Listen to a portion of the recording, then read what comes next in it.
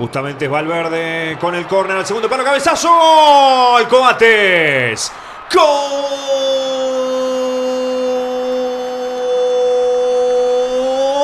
de la más linda del mundo. De la celeste del alma. Uruguay se pone en ventaja con un cabezazo bien clarito de Sebastián Coates.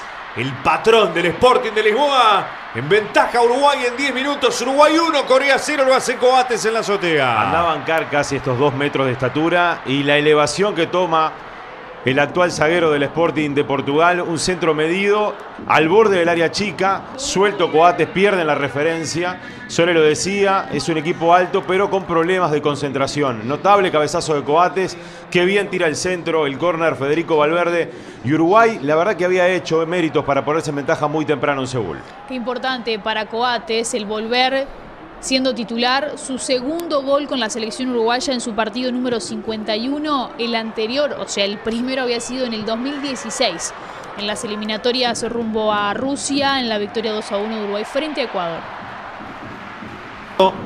Uruguay gana 1 a 0 con gol de Sebastián Cobates. Tae. Juan Inmion.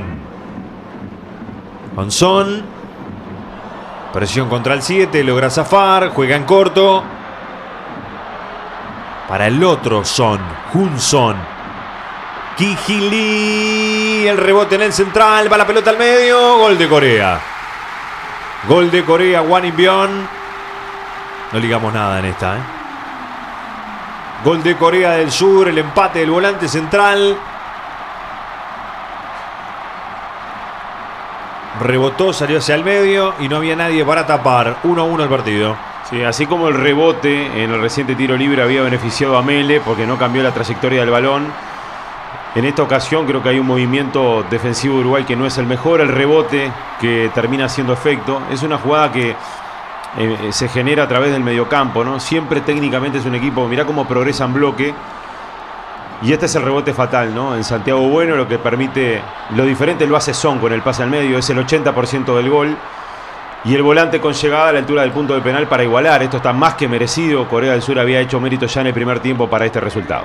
Más que previsible esta definición de Corea por cómo se venían dando las cosas, por la generación de juego que estaba teniendo, por el peligro que estaba generando y más allá de que el rebote no favorece a Uruguay, había un espacio importante, ¿no?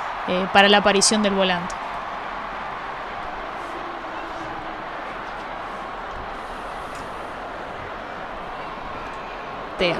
Piquerés o Valverde. Valverde o Piquerés. La orden del árbitro. Llega Piquerés. El rebote. ¡Oh! El vecino.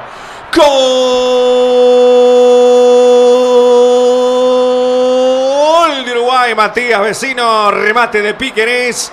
Abajo el arquero y en el rebote a lo pescador llega Matías Vecino para poner el segundo de Uruguay. Uruguay 2, Corea del Sur 1, recontra mega super hiper habilitado el 5. Bueno, el otro día el olfato goleador fue de otro volante, de Valverde, que fue a buscar el rebote en el horizontal.